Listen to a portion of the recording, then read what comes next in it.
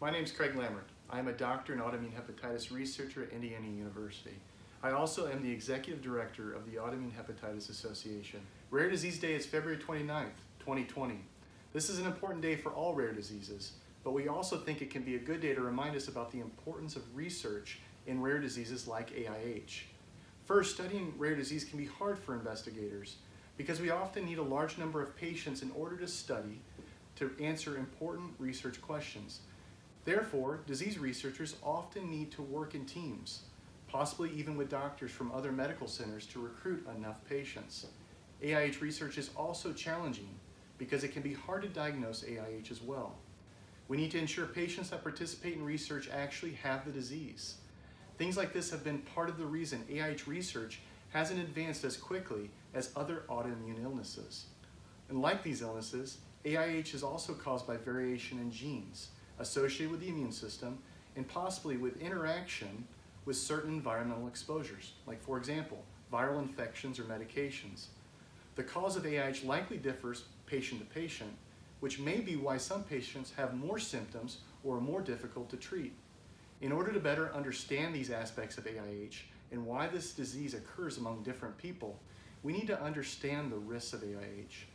Researchers need to partner closely with patients to obtain genetic samples, thorough environment data over their lifetimes, medical history, and also their lab results.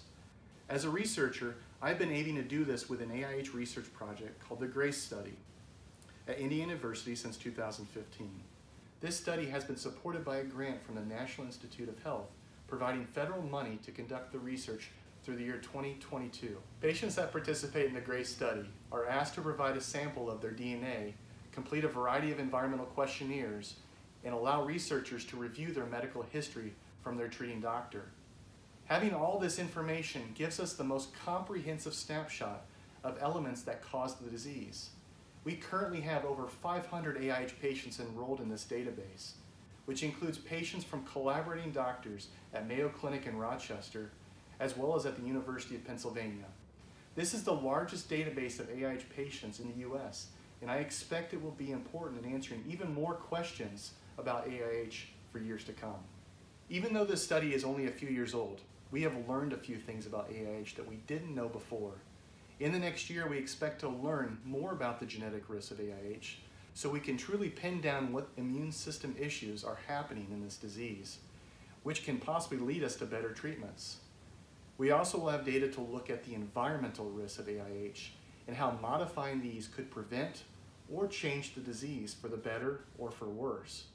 We hope that all of the GRACE findings will help us move the approach to AIH treatment to one that focuses on individual characteristics and maybe even better therapies in the future, specifically ones that don't depend on steroids. The GRACE study has been successful in part because patients around the country have learned about the study through social media and have been willing to participate. If you haven't been involved, please consider enrolling. The study details are below. By being part of this study, you will enable us to learn more about autoimmune hepatitis and work to improve the lives of patients with this disease. Thank you.